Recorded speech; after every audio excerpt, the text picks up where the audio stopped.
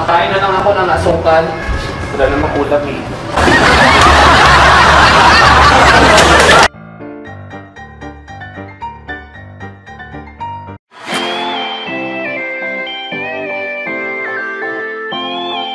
Kuya, Oh, na tayong bigas. Kailangan ko nang bumili ng bigas sa palengke.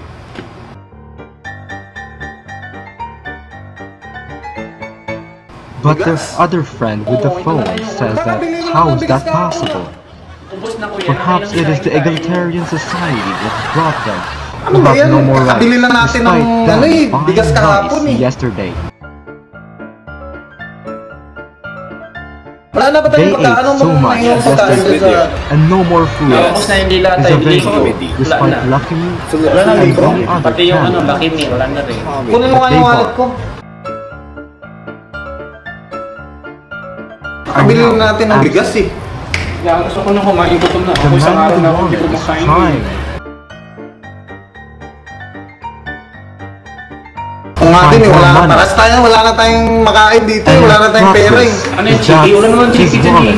Puro papel yung pera. of pera?